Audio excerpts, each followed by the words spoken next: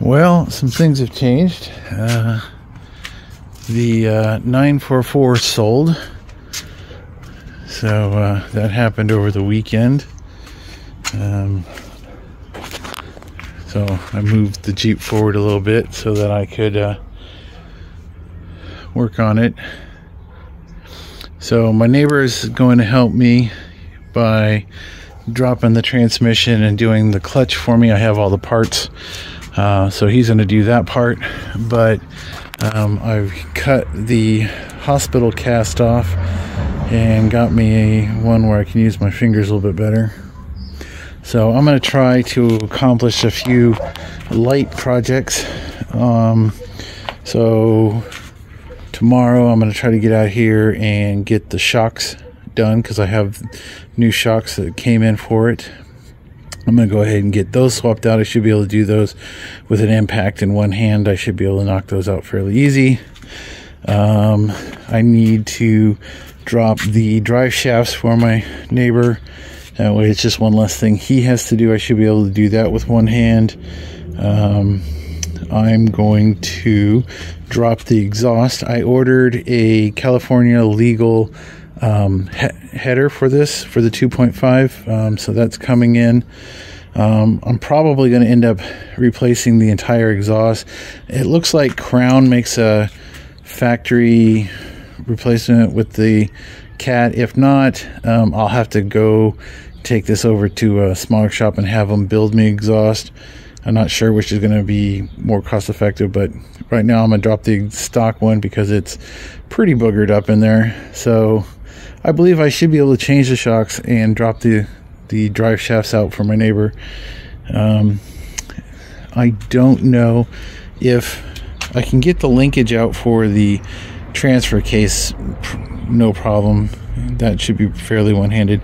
Not sure if I will be able to do the removal of the um, shifter because you have to push and twist, and I don't have much twisting capability because my wrist is kind of stuck. So we'll see what that's like. But uh, yeah, it's been about two weeks now. I'm still waiting to hear from the surgeon to see when they're going to get in um, to have the bone fragment removed so that I can actually gain full access. Um, but I did order new brake lines. Um, because this is still running the factory brake lines and this is a four inch lift so I got the braided uh, brake lines front and rear. I also ordered a braided clutch line so it goes from the clutch master down to the slave on the transmission um, just because this is let's see a 92 so it's I don't even know how many years old that is at this point, like what, 30 something. So we'll go ahead and swap that out because I did buy a clutch master because I'm just going to replace everything so might as well do that too. So those will come in but the, that stuff can be done later. Um, I did order a flywheel because I wasn't sure what this flywheel was going to look like and I didn't want to tie my neighbor up for more than a couple of days um, so he didn't have to mess with that. So this is just a quick little update um, so tomorrow I should have some video of some upgrades to shocks and whatnot. So we'll see how it goes. And if I can't uh, do it, well, at least I tried.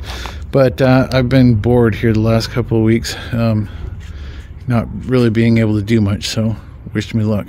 All right, thanks for watching. And here's a quick picture of my neighbor's Jeep. That's one of the two. That's his other one with his cat up there on top.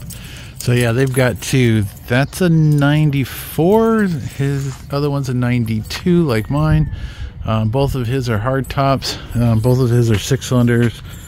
Um, just so happens. And then my neighbor on the other side has a CJ, and I believe it's a. I think it's a 65, um, if I remember correctly. Um, it's sitting in his backyard. So yeah, a lot of Jeeps in my neighborhood. But, uh, yeah.